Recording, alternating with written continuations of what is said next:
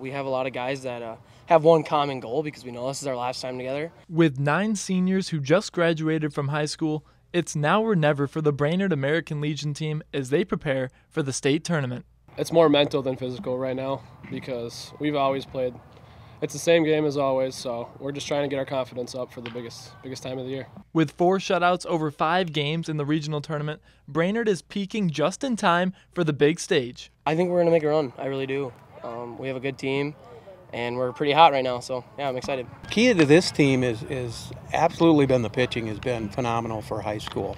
Not a great hitting team as a as a team as a whole, but the the pitching our team ERA is about 2.3, which is very good for high school. The state tournament is 16 teams, double elimination style, so the pitching depth is more important than ever.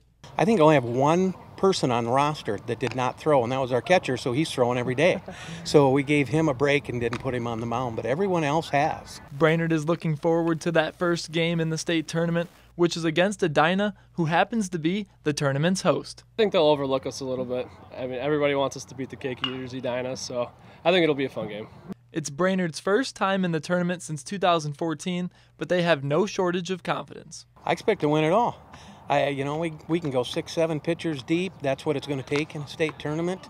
Um, I see no reason why we can't do it. Reporting from Brainerd, Anthony Scott, Lakeland News.